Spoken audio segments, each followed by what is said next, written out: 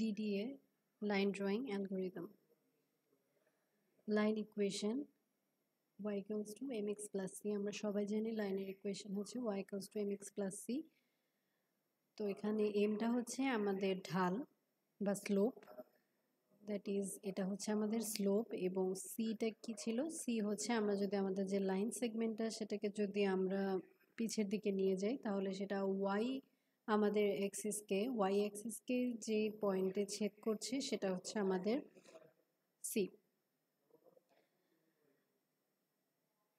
তো আমরা যে বললাম এম স্লোপ তো এম এর সূত্র আছে একটা, এটা আমরা জানি এম এর সূত্রটা হচ্ছে আমাদের ডিওয়াই বাই ডিএক্স তো ডিওয়াই বাই ডিএক্স এর ভিতরে ডিওয়াই বলতে কি বোঝায়? ডিওয়াই বলতে বোঝাচ্ছে y two minus y one এবং ডিএক্স বলতে বোঝাচ্ছে x two minus x one এখন এই ওয়াই ওয়ান ওয়াই টু এবং এক্স ওয়ান এক্স টু কোন পয়েন্টগুলো আমরা জানি যে কোনো লাইন সেগমেন্ট ড্র করতে হলে আমাদের দুইটা পয়েন্ট লাগে, একটা স্টার্টিং পয়েন্ট লাগবে, একটা এন্ডিং পয়েন্ট লাগবে।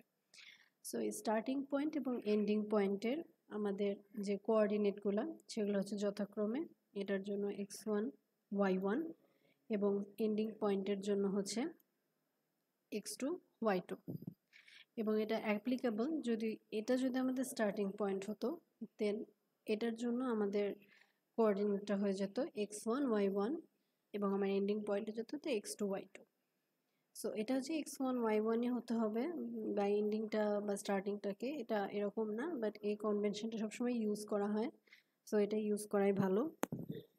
কিন্তু আমরা খালি এতটুকু মাথায় রাখব যে আমাদের যে স্টার্টিং পয়েন্ট সেটা যেটাই হোক, এটা স্টার্টিং পয়েন্ট হলে এটা হবে এক্স ওয়ান ওয়াই ওয়ান এবং এটা যদি স্টার্টিং পয়েন্ট হয়, তাহলে এটার কোঅর্ডিনেটকে আমরা বলব x y one y one এবং যেটা এন্ডিং পয়েন্ট হবে আমাদের, সেটার কোঅর্ডিনেটকে আমরা নাম দেব x two y two okay তো এই যে আমাদের এই লাইনটা, আমরা যদি দুইটা পয়েন্ট দিয়ে দিই, তাহলে মাঝখানে একটা লাইন ড্র হয়ে যাবে ওকে এবং আমরা জানি যে এই যে লাইন থেকে, এই যে পয়েন্টটা থেকে, এই পয়েন্টের ভিতরে যে লাইনটা ড্র হচ্ছে, এই লাইনটা অ্যাকচুয়ালি আর কিছু না, অনেকগুলো ক্ষুদ্র ক্ষুদ্র ক্ষুদ্র ক্ষুদ্র পয়েন্টের সমন্বয়।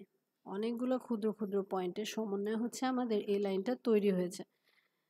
সো এই যে আমার প্রত্যেকটা পয়েন্ট, এই পয়েন্টগুলো তো আমাদের দিয়ে দিতে হচ্ছে না। আমাদের শুধু স্টার্টিং পয়েন্ট এবং এন্ডিং পয়েন্টটা দিয়ে দিলেই আমাদের গ্রাফিক্স কার্ড এটা ড্র করে দিচ্ছে।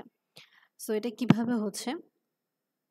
এটা হচ্ছে আমাদের যে অ্যালগোরিদমটা ইউজ করছে, সেখানে দুইটা অ্যালগোরিদম আছে, একটা হচ্ছে আমাদের ডিডিএ লাইন ড্রয়িং অ্যালগোরিদম, আরেকটা আমরা নেক্সট দিন দেখব Bresenham's algorithm. So DD অ্যালগোরিদমে আমরা যদি দুইটা পয়েন্ট দিয়ে দিই, সে মাঝের পয়েন্টগুলোকে কীভাবে সিলেক্ট করে, সেই পদ্ধতিটা আজকে আমরা জানব। সো আমাদের জাস্ট এটা জানতে হবে যে এই স্টার্টিং পয়েন্ট এবং এন্ডিং পয়েন্টের ভিতরে আরও অসংখ্য আমাদের পয়েন্ট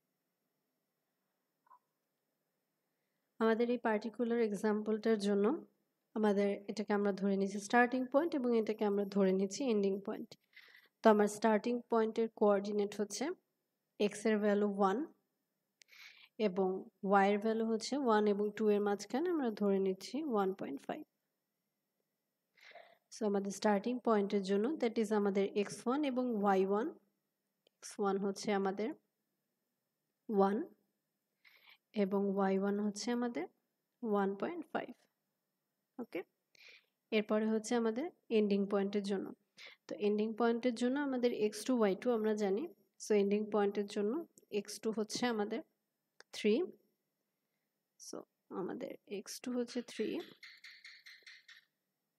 এবং আমাদের ওয়াই টু হচ্ছে ফোর সো ওয়াই টু হচ্ছে ফোর তো এখন আমরা ইজিলি আমাদের স্লোপটা বের করতে পারব। যেহেতু স্লোপের ফর্মুলা আমরা জানি dy by dx okay so dy হচ্ছে এন্ডিং পয়েন্ট মাইনাস স্টার্টিং পয়েন্টের ওয়াইয়ের ভ্যালু এবং ডিএক্স হচ্ছে এন্ডিং পয়েন্ট মাইনাস স্টার্টিং পয়েন্টের এক্সের ভ্যালু সো আমরা যদি এই সূত্র অনুযায়ী আমরা যদি এই ভ্যালুগুলোকে এখন বসাই দিই সো আমার ডিএক্সটা হচ্ছে three minus one x two minus x one that is three minus one equals to two এবং আমাদের এখানে ডি ওয়াইয়ের ভ্যালুটা হয়ে যাবে y two minus y one that is আমাদের ওয়াই টু হচ্ছে ফোর এবং ওয়াই ওয়ান হচ্ছে ওয়ান পয়েন্ট ফাইভ ওকে এটা ওয়ান পয়েন্ট ফোর হয়েছে, এটা ভুলে আসছে, এটা হচ্ছে ওয়ান পয়েন্ট ফাইভ হবে so four minus one point five তো এটা হচ্ছে আমাদের টি এক্স এবং ডি ওয়াইয়ের ভ্যালু আমরা এভাবে করে বের করব। তো আমাদের অ্যালগোরিদমের জন্য এই বেসিক জিনিসগুলো আমাদের জানতে হবে। আরেকটা জিনিস আমাদের জানতে হবে। সেটা হচ্ছে যে আমাদের এই যে স্লোপটা, এই স্লোপ যেটাকে আমরা এম বলছি এম এর ভ্যালু আমার কখন গ্রেটার দেন ওয়ান হবে আর কখন লেস দেন ওয়ান হবে। সো আমার এই যে স্লোপটা, যেটা হচ্ছে ডিওয়াই বাই ডিএক্স ঠিক আছে? দ্যাট ইজ এই অ্যাঙ্গেলটা তো, আমার যখন ডিওয়াইয়ের ভ্যালুটা বড় হবে ডিএক্স এর থেকে, তখন অবশ্যই আমার এটার ভ্যালু গ্রেটার দেন ওয়ান চলে আসবে। সো যদি আমার ডিওয়াই গ্রেটার দেন ডিএক্স হয় then m greater than one হয়ে যাবে। এবং যদি উল্টাটা হয় ডিএক্স এর ভ্যালু যদি বড় হয়ে যায় ডি ওয়ানের থেকে, তাহলে সেটা অবশ্যই লেস দেন ওয়ান হয়ে যাবে জিরো পয়েন্ট সামথিংয়ে চলে আসবে। সো যখন আমাদের ডিএক্সটা হয়ে যাবে বড় ডিওয়াই এর থেকে তখন আমার এম এর ভ্যালু হয়ে যাবে লেস দেন ওয়ান তো এটা কোন ক্ষেত্রে? দেখা যায় যে ডি ওয়াইয়ের ভ্যালু বড় হচ্ছে যখন ডি এক্সের থেকে, তখন আমার স্লোপের ভ্যালুটা গ্রেটার দেন ওয়ান হচ্ছে এবং ডি ডিএক্সের ভ্যালুটা যখন বড় হচ্ছে, তখন স্লোপের ভ্যালু লেস দেন ওয়ান হচ্ছে এবং আরেকটা সিনারি হতে পারে যেখানে এম এর ভ্যালু ইকুয়ালস টু ওয়ান হতে পারে। অ্যান্ড সেটা আমরা বুঝতেই পারছি যদি আমার ডিওয়াই এবং ডিএক্স দ্যাট ইজ এই যে ডিফারেন্সটা আমার স্টার্টিং পয়েন্ট এবং এন্ডিং পয়েন্টের এক্স আর ওয়াই কোঅর্ডিনেটের ভিতরে যে ডিফারেন্সটা এটা যদি সমান হয়ে যায়, তাহলে আমার এম এর ভ্যালুটা চলে আসবে ওয়ান তো আমরা তিনটা সিনারি পাই। এই সিনারিগুলো উপর ভিত্তি করে আমাদের ডিডিএ অ্যালগোরিদমের অ্যালগোরিদমটা তৈরি। তো আমরা এখন অ্যালগোরিদম স্টেপ বাই স্টেপ দেবো। এই অ্যালগোরিদমের চারটা স্টেপ আমরা একটু স্টেপগুলো মনে রাখব। এবং আমাদের আলটিমেটলি এরকম সূত্র মনে রাখতে হবে ওকে তো প্রথমে আমরা দেখব স্টেপ ওয়ান যখন আমার m is less than equals to one so less than এবং ইকুয়ালস টুকে একটা ফর্মুলার ভিতরে ফালানো হচ্ছে। তো এম এর ভ্যালু যখন less than equals to one less than equals to one that is যখন আমার ডিএক্স এর ভ্যালু ডিওয়াই এর বড় হবে অথবা ডিএক্স এর ভ্যালু ডিওয়াই এর সমান হবে, সেই কেসে সেই কেসে কি হচ্ছে? সিনারিটা এবং আরেকটা জিনিস মনে রাখতে হবে, আমাদের এই যে স্টেপ ওয়ান এই স্টেপ ওয়ানটা কারদের জন্য অ্যাপ্লিকেবল স্টেপ ওয়ানটা অ্যাপ্লিকেবল যখন আমার স্টার্টিং পয়েন্টটা এন্ডিং পয়েন্টের লেফট সাইডে থাকবে। এটা মনে রাখতে হবে। দ্যাট ইজ আমার স্টার্টিং পয়েন্টটা আমার এন্ডিং পয়েন্টের লেফট সাইডে থাকবে। সেই ক্ষেত্রে এবং যখন আমার ডিএক্স এর ভ্যালু ডিওয়াইয়ের থেকে বড় হবে অথবা সমান হবে, এই দুইটা শর্ত যদি ফুলফিল করে, তাহলে আমরা যাব স্টেপ ওয়ানে তো স্টেপ ওয়ানে কি বলা হচ্ছে? স্টেপ ওয়ানে হচ্ছে dx equals to one dx equals to one মানে কি? ডিএক্স মানে আমরা কি জানি? যে x two minus x one হচ্ছে আমার ডিএক্স তো ডিএক্স ওয়ান হওয়া মানে প্রত্যেক স্টেপে আমার নতুন যে এক্সের ভ্যালু আগের এক্সের ভ্যালু থেকে এক বেশি হবে ওকে সো ডিএক্স ওয়ান হওয়া মানে হচ্ছে আমার প্রত্যেকটা নতুন স্টেপের ভ্যালু এক্সের ভ্যালু আগের স্টেপের এক্সের ভ্যালু থেকে এক বেশি হবে। তো আমরা এবার যদি ফর্মুলার ভিতরে বসাই m equals to dy by dx m equals to dy এর জায়গায় আমরা লিখলাম y two minus y one এবং ডিএক্স এর জায়গায় লিখছি এ ওয়ান কারণ আমরা জানি যে ডিএক্স ইকলস টু ওয়ান এটা কিন্তু শুধুমাত্র এই কন্ডিশনের ক্ষেত্রে। নেক্সট এখন এই টু আর ওয়ানকে কে দিয়ে রিপ্লেস করা হলো? That is in general y two y three y four y five সব স্টেপের জন্য জেনারেলাইজ করার জন্য কে ধরা হলো? So k plus one that is তোমার পরবর্তী স্টেপের ওয়াইয়ের ভ্যালু ওয়াইকে এখন বর্তমান স্টেপের ওয়াইয়ের ভ্যালু এটা নির্দেশ করছে। সো আমরা জাস্ট টু আর ওয়ানকে জেনারেলাইজ করে ফেললাম কে প্লাস ওয়ান এবং কে দিয়ে। তো এটা যদি আমরা এখন সাইড চেঞ্জ করি সাইড চেঞ্জ করার পরে আমরা জাস্ট ওয়াই কে প্লাস ওয়ানের ভ্যালুটা আমাদের দরকার সো এটাকে আমরা এক্সট্রাক্ট করে নিয়ে আসলাম। ওয়াই কে প্লাস ওয়ানের ভ্যালুটা কত হবে? Y k plus m that is আমার যখন শর্তটা কি? আমার শর্তটা একটু মনে রাখতে হবে। শর্ত হচ্ছে দুইটা। একটা হচ্ছে আমার স্টার্টিং পয়েন্ট থাকবে এন্ডিং পয়েন্টে লেফট সাইডে এবং সেকেন্ড শর্তটা হচ্ছে আমার এম এর value less than equals to one হবে। যদি দুইটা শর্ত ফুলফিল করে, তখন আমরা এই ইকুয়েশনটা ইউজ করব। এক্সের ভ্যালু বাড়াবো এক্স প্লাস ওয়ান করে এবং ওয়াইয়ের ভ্যালু বাড়াবো ওয়াই প্লাস এম করে। এম হচ্ছে আমাদের স্লোপ তো এটা একটা সূত্র আমাদের গেল, এরপর আমরা দেখব আমাদের নেক্সট স্টেপ নেক্সট স্টেপটা হচ্ছে, আমার m is greater than one so next স্টেপের জন্য আমরা দেখব যখন আমার স্টার্টিং পয়েন্ট এন্ডিং পয়েন্টের লেফট সাইডে এবারও আমার স্টার্টিং পয়েন্ট এন্ডিং পয়েন্টের লেফট সাইডে বাট এবার ডিফারেন্সটা কোথায়? ডিফারেন্সটা হচ্ছে m is greater than one that is dy is greater than dx তো এই ক্ষেত্রে আমার এই সূত্রটা অ্যাপ্লিকেবল হবে। তো আমরা যেটা দেখলাম স্টেপ ওয়ান এবং স্টেপ টু দুইটার জন্যই আমার স্টার্টিং পয়েন্টটা থাকবে এন্ডিং পয়েন্টে লেফট সাইডে বাট স্টেপ ওয়ানে আমার এম এর ভ্যালু ওয়ানের চেয়ে ছোটো বা সমান হবে এবং স্টেপ টুতে যে সূত্রটা সেটা অ্যাপ্লিকেবল হবে কার জন্য? যখন আমার এম এর ভ্যালু ওয়ানের থেকে বড় হবে। সমান হলে এটা অ্যাপ্লিকেবল হবে না, শুধুমাত্র বড় হলে এটা অ্যাপ্লিকেবল হবে। সো তখন হবে if the slope is greater than one তখন যেটা হবে ডিওয়াই ইকলস টু ওয়ান হয়ে যাবে। তখন প্রত্যেকটা স্টেপে ওয়াইয়ের সাথে আগের ওয়াইয়ের ভ্যালুর সাথে এক যোগ হবে। সো ডিওয়াই মানে আমরা জানি y two minus y one so y two minus y one one হওয়া মানে কি? ওয়ান হওয়া মানে হচ্ছে y two equals to y one plus one so that means আমার আগের ওয়াইয়ের ভ্যালুর সাথে এক যোগ হতে থাকবে। এবার যদি এই ভ্যালুটা আমরা এই সূত্রতে বসাই দিই। সেক্ষেত্রে এখন আমরা এক্স সাইড চেঞ্জ করে এক্স প্লাস ওয়ানকে নিয়ে আসলাম। সেক্ষেত্রে এক্স প্লাস ওয়ান কত হলো? এক্সকে প্লাস ওয়ান বাই এম তো আমার এই সূত্রটা কখন অ্যাপ্লিকেবল হবে? যদি আমার স্টার্টিং পয়েন্ট হয় এন্ডিং পয়েন্টের লেফট সাইডে এবং আমার এম এর ভ্যালু যদি ওয়ানের থেকে বড় হয়, সেক্ষেত্রে আমার এই ভ্যালুটা অ্যাপ্লিকেবল হবে। Y k plus one equals to y k plus one, y, k plus one কিন্তু এটা সাবস্ক্রিপ্ট হিসেবে নিচে একসাথে আছে। দ্যাট ইজ তোমার এখনকার স্টেপ যদি হয় ওয়াই ওয়ান নেক্সট স্টেপ হচ্ছে ওয়াই টু। এটাই হচ্ছে ওয়াই কে প্লাস ওয়ান। আর এটা যেটা ওয়াই কে, তারপরে কিন্তু পাশে আছে প্লাস, তার সাথে one. That is y k that means আগের স্টেপের ওয়াই কে, তার সাথে আছে প্লাস, তার সাথে আছে ওয়ান পাশে। ওকে তো এই দুইটার পার্থক্য আছে কিন্তু। এটা হচ্ছে সাবস্ক্রিপ্ট হিসেবে পুরোটা আছে এবং এটা পাশাপাশি আছে। তো আমরা এভাবে করে ইনক্রিমেন্ট করব। ওয়াইয়ের ভ্যালু আমরা আগের ওয়াইয়ের থেকে এক বাড়াবো এবং এক্সের ভ্যালু কীভাবে বাড়াবো? এক্সের সাথে যোগ করব ওয়ান বাই এম তো এই সূত্রটা আমার সেটার জন্য।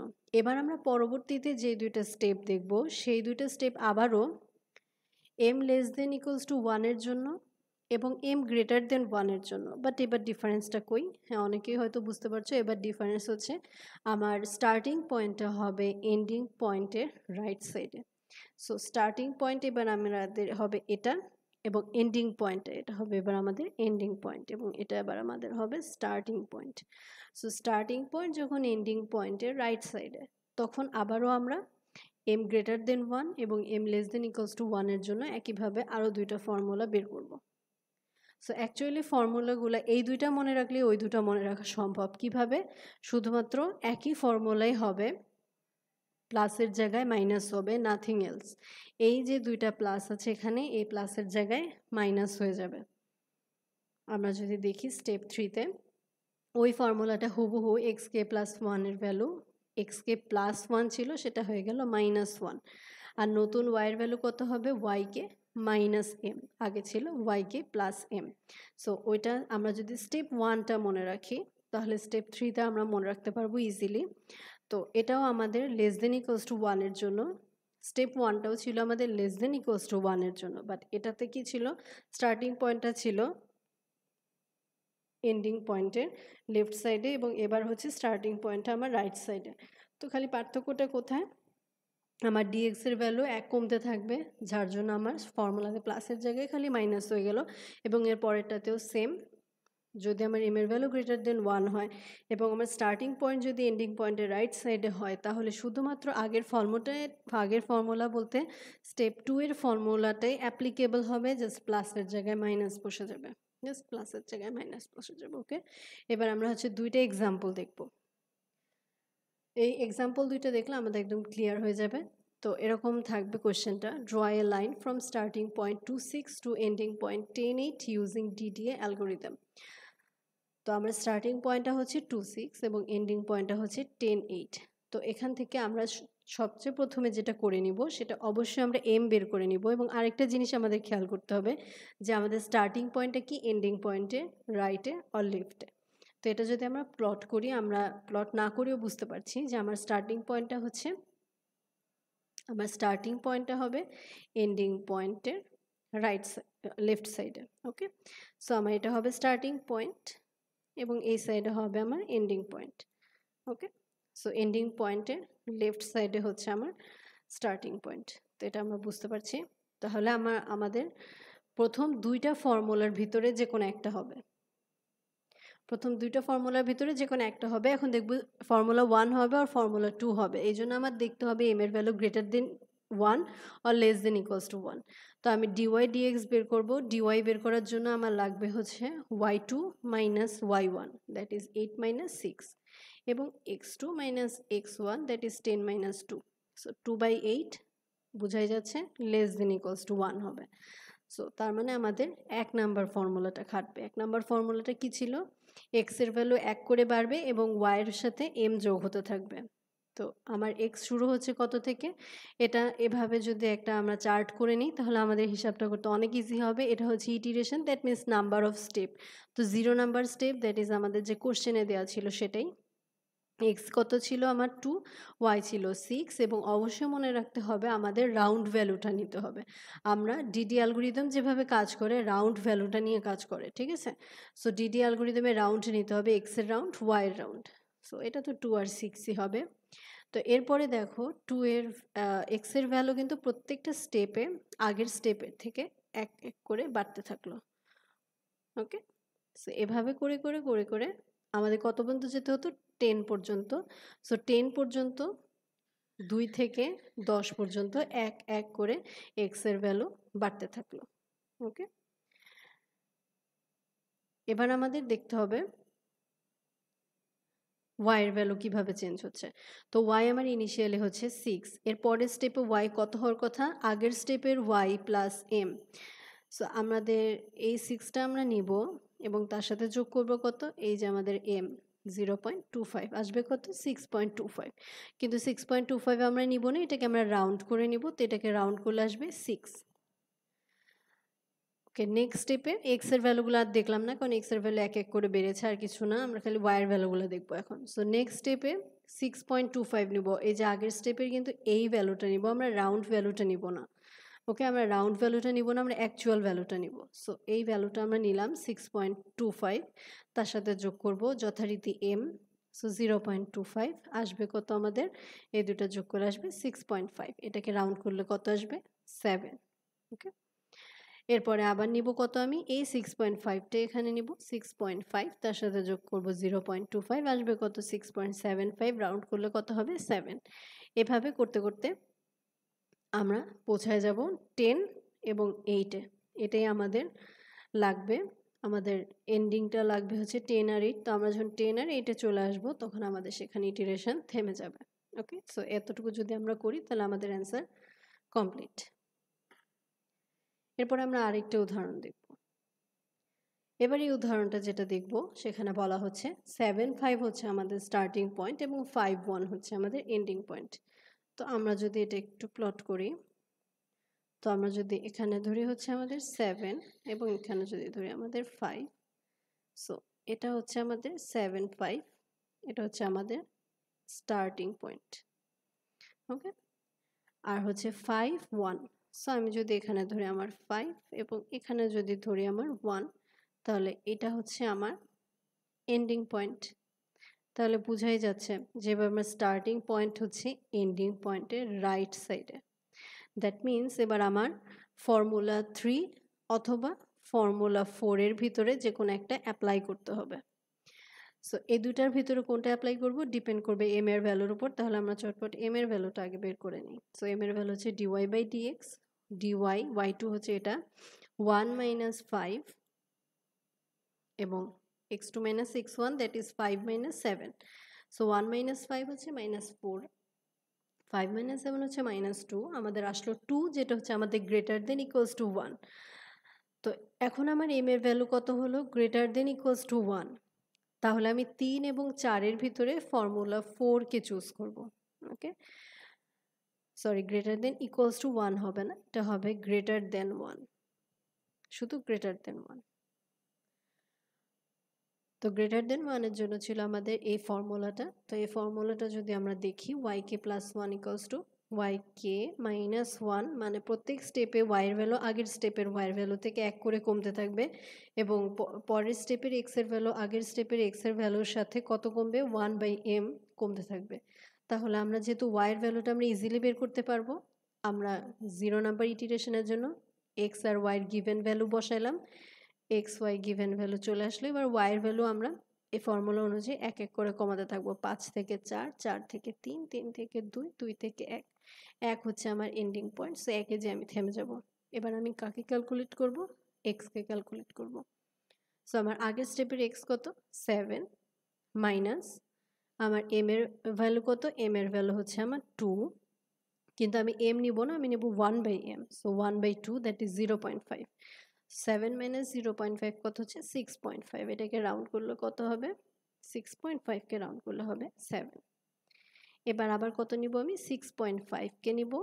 মাইনাস জিরো পয়েন্ট ফাইভ আসবে সিক্স সো সিক্স এরপরে আবার এই সিক্সকে নিব। Six minus zero point five five point five round করলে কত আসবে? সিক্স নেক্সট হচ্ছে five point five minus zero point five আসছে ফাইভ রাউন্ড করলে আসবে ফাইভ তো আমাদের চলে আসলো ফাইভ আর ওয়ান আমাদের লাগবেও ফাইভ আর ওয়ান শেষ। এ পর্যন্ত করলে আমাদের শেষ। ওকে তো এটি ছিল আমাদের ডিডিএল দেব খুব ইজি দুইটা সূত্র মুখস্থ করলে আর বাকি দুইটা আমরা আগের দুইটা সূত্র থেকেই পারব প্লাসের জায়গায় মাইনাস দিয়ে। দুইটা সূত্র মুখস্থ করলে আমরা ডিডিএল করে করতে পারব।